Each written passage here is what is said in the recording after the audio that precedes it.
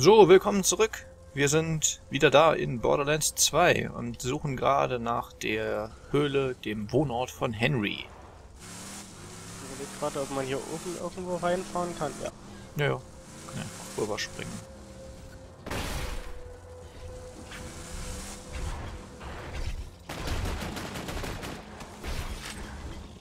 So.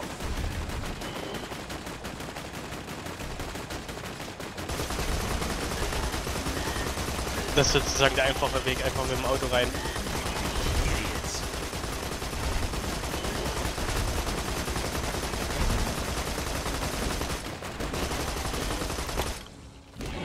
Jedenfalls auch der Munitionssparendste.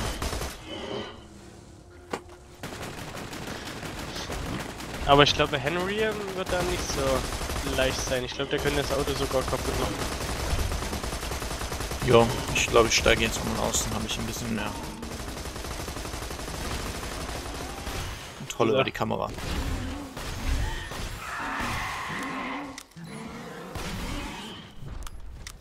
Da ist er. Da ist sie schon. Ist ja nicht sie. Wirklich? Also ich meine, äh, wissen wir, dass es weiblich ist? Hätte ich jetzt so getippt. So wie er immer redet. Also er hat sie nach seiner Mutter benannt oder ihn nach seiner Mutter benannt, aber das heißt ja nicht unbedingt was. Ja gut, ja. Also ist durchaus möglich, ich, ich äh, weiß es auch gar nicht.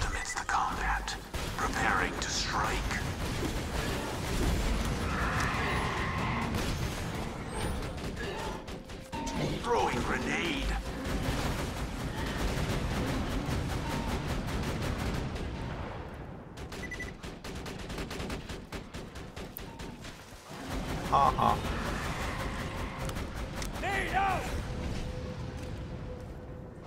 Ähm, ja, Henry regeneriert hin und wieder mal seine Schilde.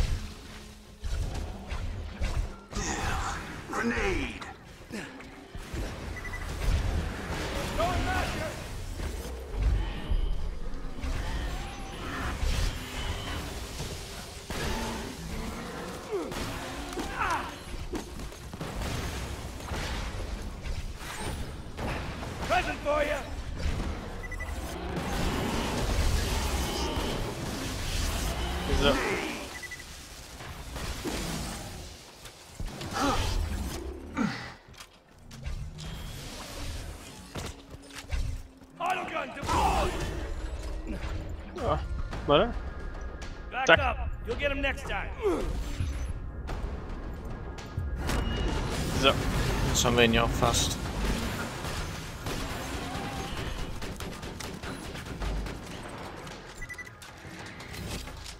Und wir wissen ja, Henry hat äh, Taggarts Hände abgekaut. Ja, da brauchen wir jetzt eine von.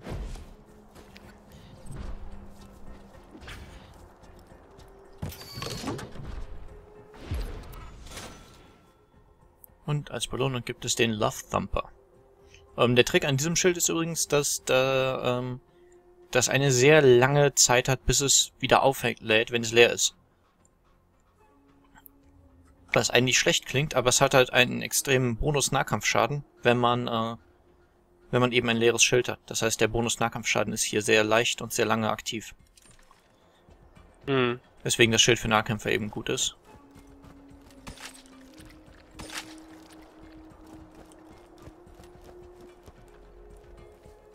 Ich überleg's mir noch. Ich glaube, wenn man nicht aktiv auf Nahkampf fokussiert spielt, ist es wenig nützlich.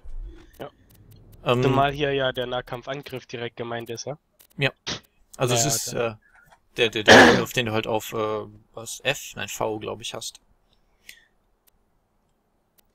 In a fit of extreme paranoia, I hid my notes on the opening of the vault and promptly forgot their locations. While I grind my teeth to dust in frustration, you will retrieve these journals for me. Ich dachte mir, wir können zur Abwechslung mal ein bisschen was Friedliches machen und Tennis äh, ins Aufzeichnungen suchen. Ja, gute Idee.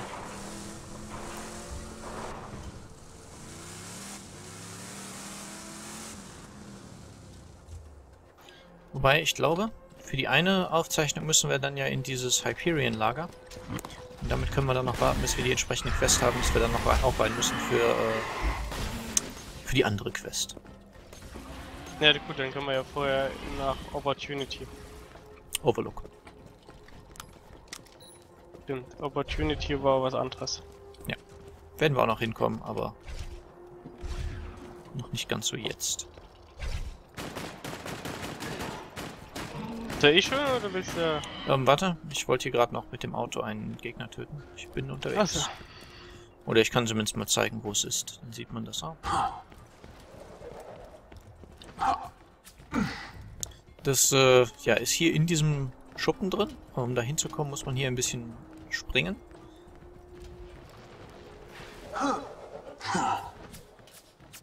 Und möglichst nicht runterfallen. Let's get to I am killing. going to die.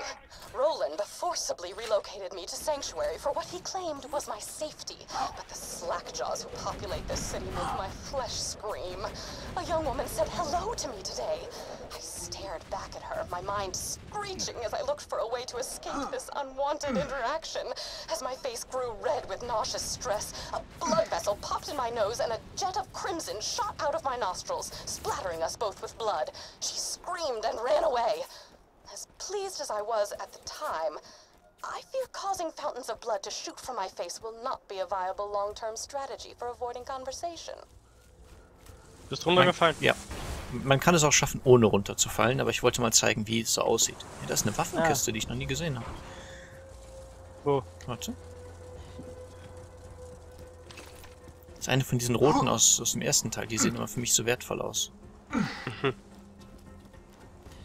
Hier so auf halber Höhe, da könnte man drauf runterspringen und müsste dann wieder ganz runter.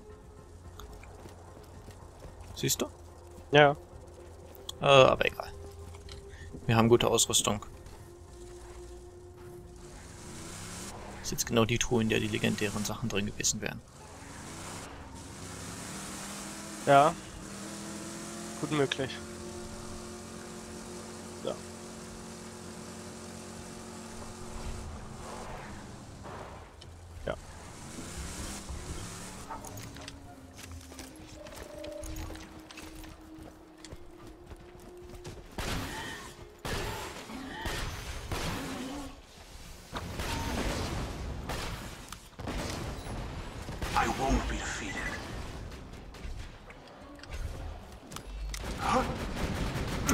Haben wir noch ein paar Freunde, die von hinten nachkommen. Na klar.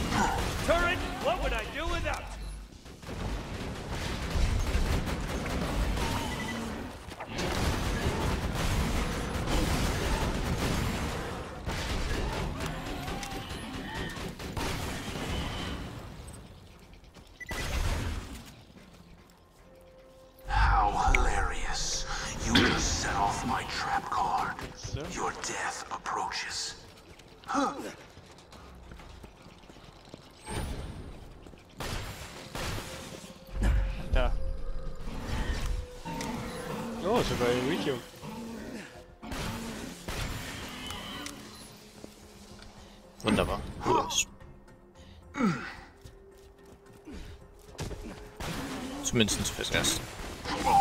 Ja. Aber jetzt auch schon wieder über 50. Ne, ich noch nicht ganz.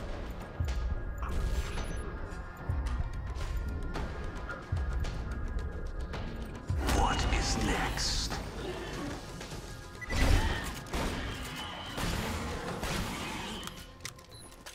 I have Ich habe... Ah, 59. Okay. Ich hätte Nicht gedacht, schlecht. weniger. Aber das nächste Upgrade kostet, glaube ich, eh 100, was ich mir holen will. Von daher.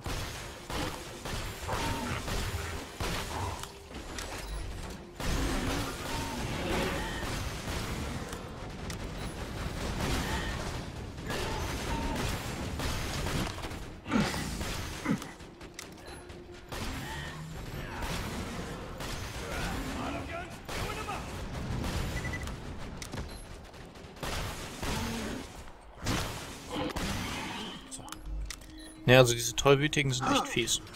Ja. Halten ganz schön viel aus. Hier haben wir jetzt auch nochmal eine kleine Erinnerung an den ersten Teil.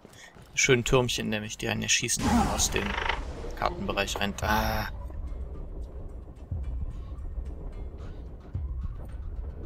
Ja.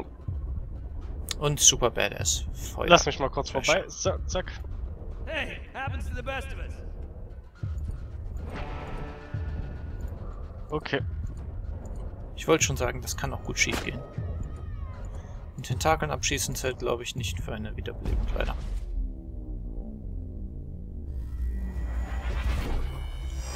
Ich hätte eigentlich dran denken sollen, an der Stelle spawnt gerne mal einer.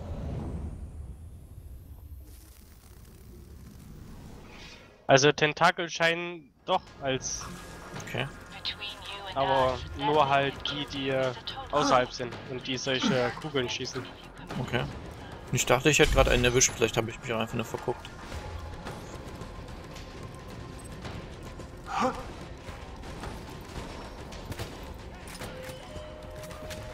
So.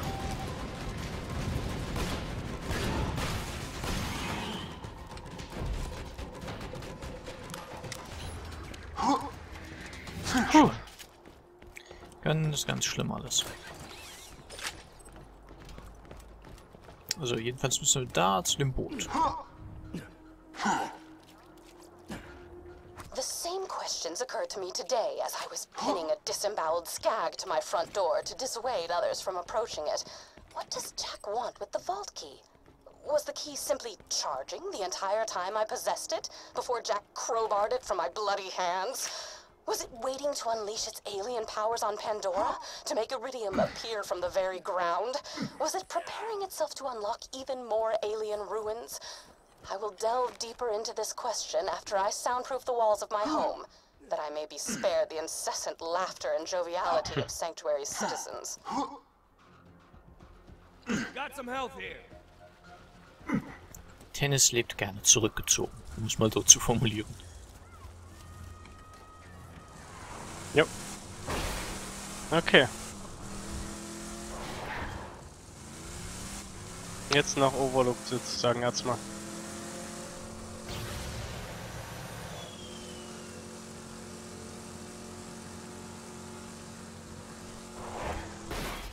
Ah. Immer diese Schlaglöcher.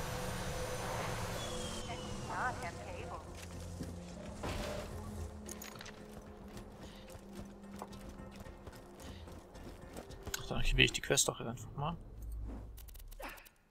Hey man, I think Roland wanted you to go check out the town of Overlook, see if you could help the people there or whatever.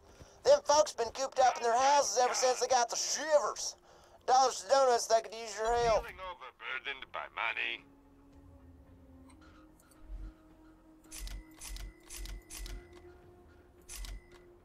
Don't have too much fun. So. Du bist soweit? Dann rede ich hier nämlich mal mit der Tür. Jo. Hello. Given the skill with which you dispatch those robots, we of the town of Overlook thought you might give us a hand, so to speak. Hyperion So, first item on the agenda, we're all dying of a brain disease. And If you her luck in choosing could which get one us to keep. three shipments of medication, we would live, which uh, would allow me to keep paying you. Our m- medicine machine needs a new battery. Please climb the clock tower ladder and remove the clock's b- battery. Gut, erste Medizinladung ist also da, da in der Maschine. An die wir aber aktuell noch nicht drankommen. Weil die aus ist. Batterie leer und so. Achso, du kletterst schon. Ja. Wenn... Wenn ich das alles mal lassen will. So. Jetzt hier noch ein Stückchen hoch. Und hier rüber.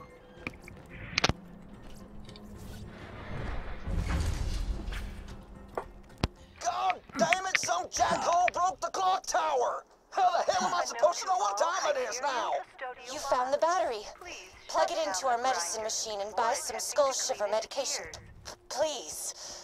Once I find out who thought we needed a running clock more badly than we needed shiver medication, they will be thoroughly reprimanded. Who needs a medical license? So, das Item des Tages ist entsprechend die Medizin. Thank you. Kostet but uns aber need nix. Two more medicine shipments. The next is carried by a traveling Hyperion requisition officer wandering the Highlands. Get the medicine from him. Without his guards, I'm sure the salesman will give you a good price for his medicine. I s- suggest killing them Politely, if possible. Wir haben da so unsere Methoden. Wir werden da schon eine Lösung finden, die für alle Parteien, für manche von allen Parteien, die beste Lösung ist.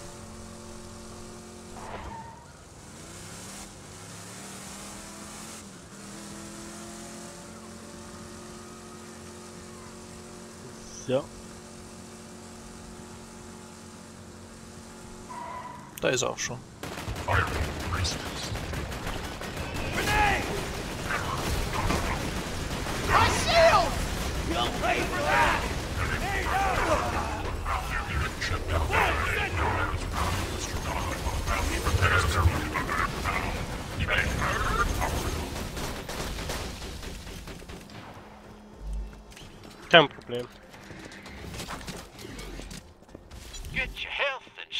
Du. here.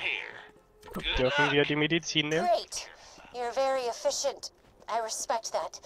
The last medicine shipment was being delivered by boat, but we lost contact. Find it, please.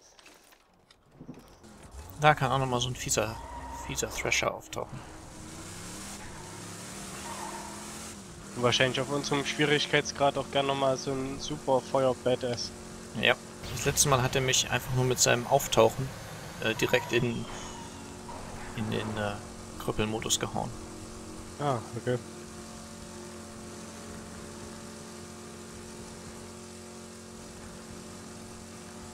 Da hat man es halt auch mit der Necromancerin wirklich leichter, weil die, wenn sie halt am Boden liegt, nicht so viel Effektivität verliert. Ups, zack. ich benutze eh keine Ziel Zielfernrohre oder sonst was. So. Now you be careful, honey. Und so ein Feuerteilzelt könnte jetzt hier kommen. Ein Feuerteil kann hier auftauchen, aber ich glaube, es ist nicht... Zumindest keine Garantie. Okay.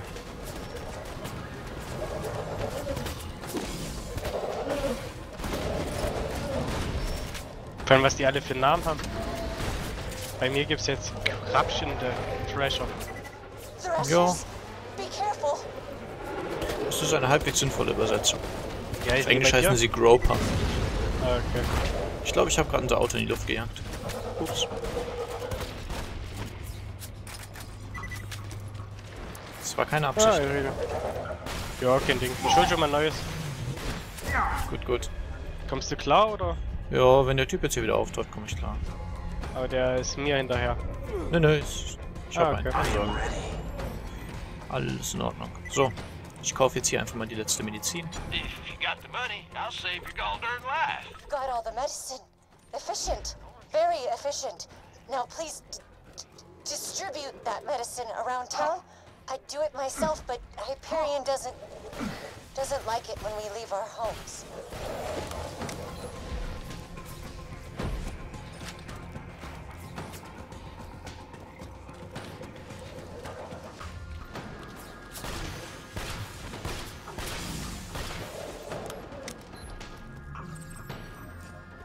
Als ob ich auf die hören würde. Auf Hyperion oder auf die Frau? auf Hyperion. Ja, man müsste halt nicht konsequent sein und ihre Waffe nicht benutzen. ne? Aber sie sind halt nun mal recht gut zum Teil.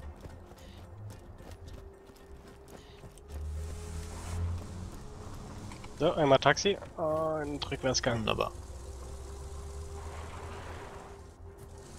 Ja.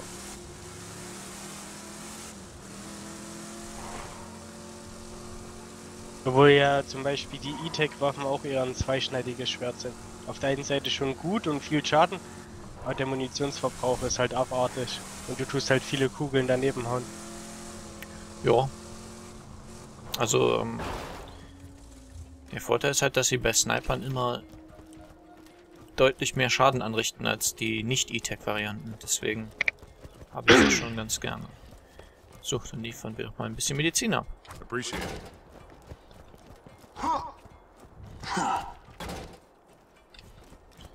Und zu guter Letzt noch Dave. Ach, Dave.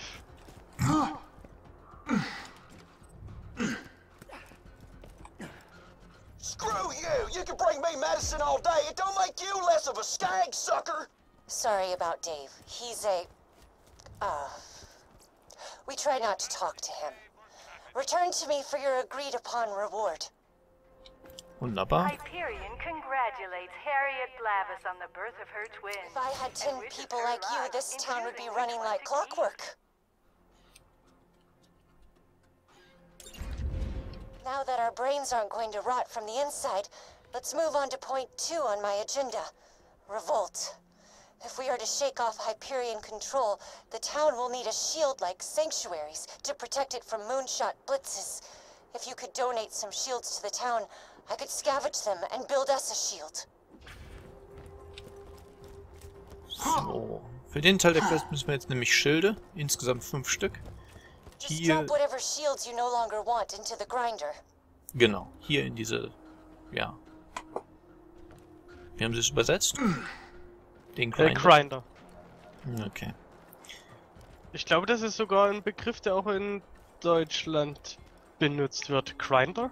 Kann ich mir. Also zur Häcksler wahrscheinlich oder. oder suggests Pulverisierer. Schredder, irgend sowas. Hm. Ähm, ich will mal gerade gucken, wie viele Schilde ich aktuell noch habe, wenn überhaupt. Okay, ich habe keine Schilde. Hast du noch welche im Inventar? Nee, ich habe keine. Dann kaufen wir einfach mal ein paar. Soll ich Na zwei toll. kaufen? Der Laden hat nur drei. See you real soon, I'm sure.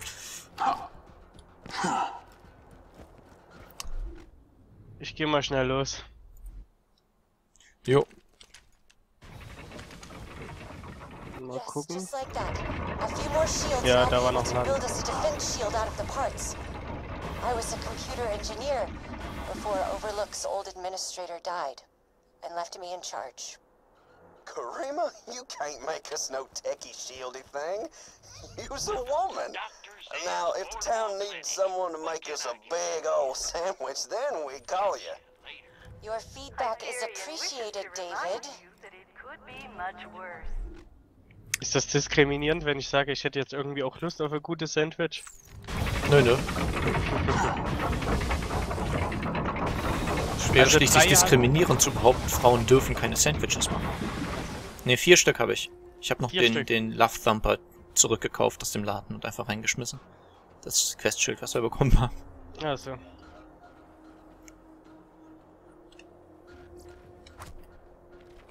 So. Also eins brauchen wir noch, wenn du noch irgendwo eins hast, findest. Ja, ja, siehst. ich hab's bei dem anderen Laden gerade eben gekauft. Ah, wunderbar. Komm schon angefahren. So.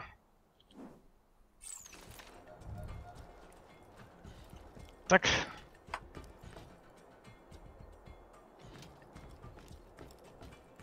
Hyperion suggests staying inside. The outdoors are dangerous and do not have cable. So. Dann einmal hier hoch. Mm, da. Thanks for the gear, stranger. I'm ready to build the shield now. Grab the scrap and bring it to me. Hat diesmal auf Anhieb geklappt. Ich glaube, beim ersten Mal haben wir die Hälfte unserer Schilde irgendwie daneben geschmissen zuerst. Ja, das stimmt. Aber man lernt ja dazu. So.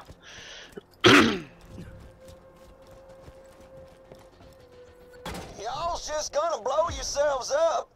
Better quit now. Thank you for your input, Dave. So. Ja, dann. Abgeben.